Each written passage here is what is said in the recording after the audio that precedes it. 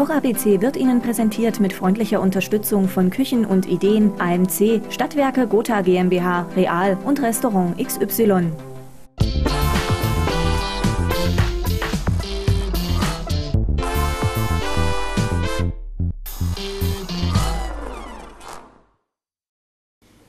Hallo, herzlich willkommen, liebe Zuschauerinnen und Zuschauer, zu unserem Koch ABC, hier aus dem Küchenstudio Küchen und Ideen in Gotha Siebleben. Uns kennen Sie bereits. Wir sind Ralf und Ilka Heinemann aus dem Restaurant XY in Gotha am Brühl. Heute haben wir für Sie ein leichtes Sommermenü mitgebracht. Als Vorspeise werden wir eine besondere Spargelcremesuppe zubereiten. Das Hauptgericht wird eine gebratene Hühnerbrust mit einer Wildreismischung, ein Gemüse sein und als Nachspeise werden wir ein Erdbeercarpaccio servieren. Für die Spargelcremesuppe benötigen wir den Spargel, Ingwer, Mandeln, Schlagsahne, ein Geflügelfond. Für die Hauptspeise benötigen wir die Hühnerbrust, Butter, eine Reismischung, Gemüse. Ich habe diesmal mitgebracht Möhren, eine Zucchini, Lauch und Paprika.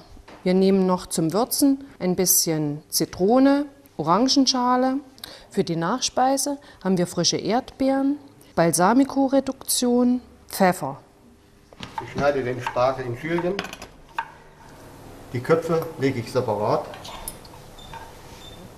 Für die Suppe benötigen wir noch geröstete Mandelplättchen. Die rösten wir ohne Butter an, weil Mandel genügend Fett haben. Das wird reichen. Das dauert ein Weilchen. Nur goldgelb werden lassen. Aufpassen, dass sie nicht verbrennen. Die Mandeln sind fertig, sie sind geröstet. Die nehmen wir aus dem Topf, um damit sie abkühlen können. Ralf schneidet in der Zwischenzeit die Zwiebeln und ein kleines Stück Ingwer. Wir geben ein klein wenig Rapsöl in den Topf, die Schalotten. Der Ingwer wird kurz angeröstet als Grundlage für die Suppe. Nur ganz kurz. Und wir löschen dann mit unserem Geflügelfond ab.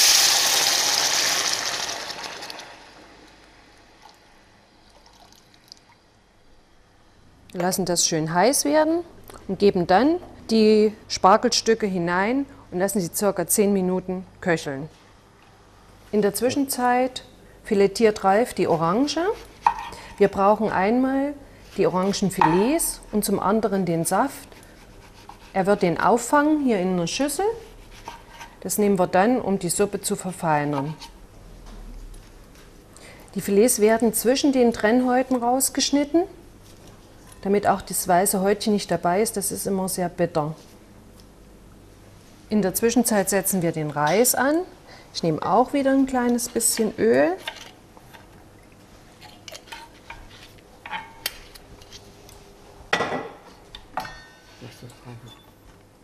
Hm. Ein paar Schalotten werden kurz angedünstet. Wir geben den Reis gleich mit dazu. Auch den Reis kurz anbraten, bis er eine glasige Farbe hat. Der Reis ist angedünstet, er ist schön glasig wir löschen das jetzt mit Wasser ab. Erstmal nur so viel, dass der Reis gerade bedeckt ist. Also man nimmt ungefähr 120 Gramm Reis für zwei Personen. Wir würzen den Reis. Ich nehme in dem Fall Salz. Mehr braucht es erstmal nicht. Und wenn es aufgekocht ist, dann wird er abgedeckelt und darf dämpfen.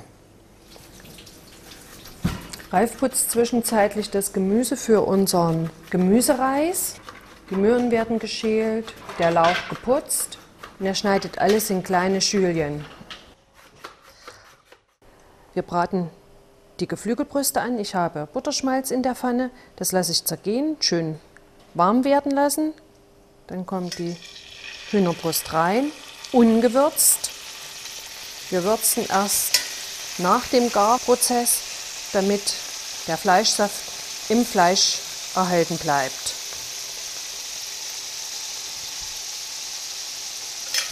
Wir können da auch eine Scheibe Ingwer mit reingeben. Der mag dann auch Knoblauch mit reingeben. Ich finde immer, Ingwer passt sehr gut zu Geflügel. Wenn sich das Fleisch von allein vom Topfboden löst, dann haben sich die Poren geschlossen und man kann es wenden. Die Geflügelbrust ist schön goldgelb. Wir nehmen sie jetzt raus, wickeln sie in Alufolie, um sie im Ofen dann fertig garen zu lassen.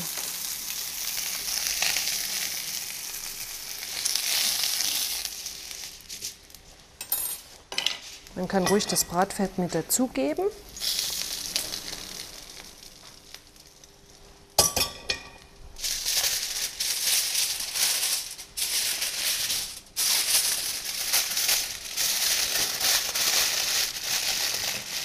Schön dicht verschließen und dann im Herd bei 95 Grad fertig garen lassen. Circa 10 Minuten. Der Spargel ist fast gegart. Wir geben jetzt die zarten Spitzen dazu. Die haben eine geringere Garzeit. Ungefähr noch mal fünf Minuten. Lassen wir das ruhen, um dann die Suppe fertigzustellen. Zwischenzeitlich putzt Ralf das restliche Gemüse noch für unseren Gemüsereis. Der Spargel ist gar. Wir nehmen ein paar Stücke für die Garnitur mit raus, um dann die restliche Suppe zu pürieren.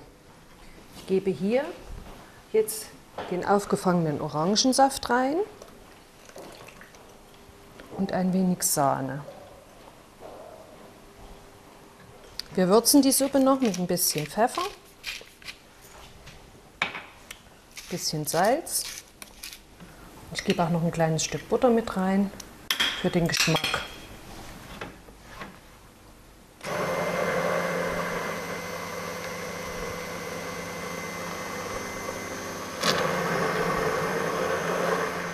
Wir braten jetzt unser Gemüse an für den Gemüsereis.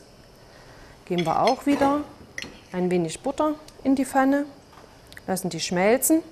Butter ist für Gemüse immer besser, schmeckt halt ganz einfach. Würzen das mit Salz und Pfeffer.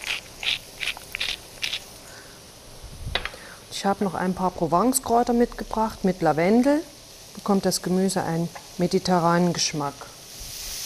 Wir garen das Gemüse bissfest, damit auch noch Vitamine erhalten bleiben.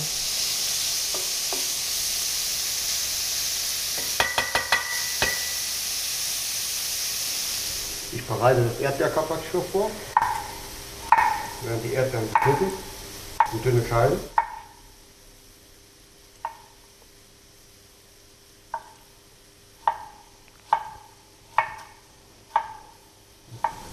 Dann auf den Teller angerichtet.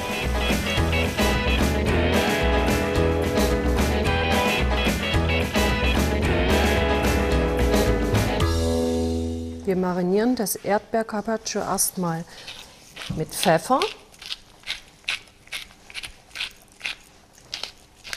Das klingt jetzt ungewöhnlich, aber es schmeckt ganz, ganz lecker. Geben ein wenig Balsamico-Essig drauf.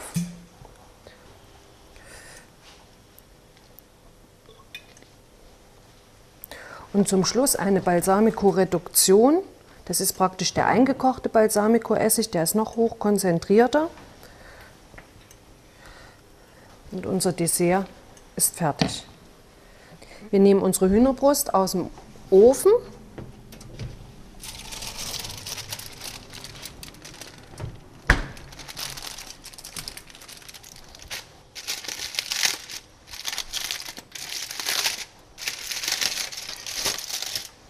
Hm, sieht gut aus. Ja. Und wir würzen sie. Erst jetzt wird sie gewürzt. Mit Salz und Pfeffer. Wir lassen sie noch einen kleinen Moment ruhen. Da entspannt sich das Fleisch, da bleibt sie innen schön saftig. Wir gießen den Reis ab in ein Sieb und spülen ihn anschließend nochmal mit warmem Wasser ab. Die Gemüsemischung ist fast fertig. Es kommen zum Schluss die Erbsen rein, weil die die geringste Garzeit haben. Es dauert nur eine Minute. und wir richten in der Zwischenzeit unseren Reis auf dem Teller an.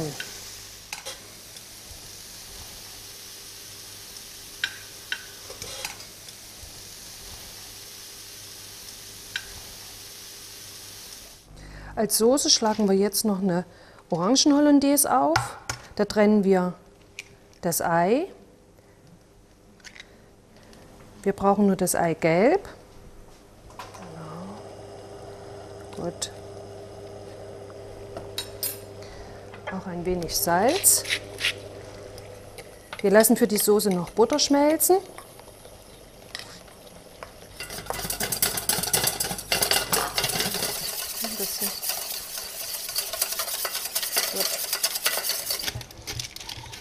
Die Hühnerbrust ist sehr schön saftig, man sieht das noch.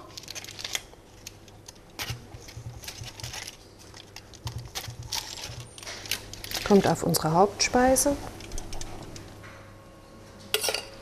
Und die Orangen-Hollandaise geben wir über die Hühnerbrust und als Söschen obendrauf. Nun richten wir noch die Suppe an.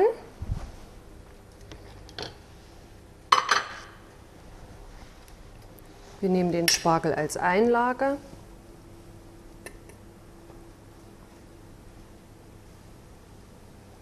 Geben ein, zwei Orangenfilets mit rein. Ein wenig Dill. Und die gerösteten Mandelblättchen.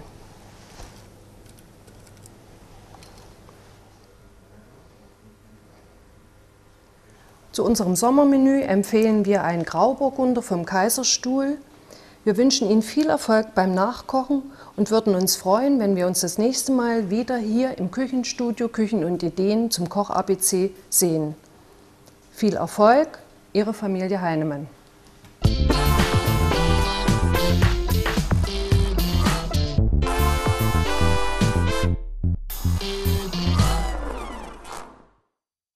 Koch ABC wurde Ihnen präsentiert mit freundlicher Unterstützung von Küchen und Ideen Gotha Siebleben, AMC, Stadtwerke Gotha GmbH, Real und Restaurant XY.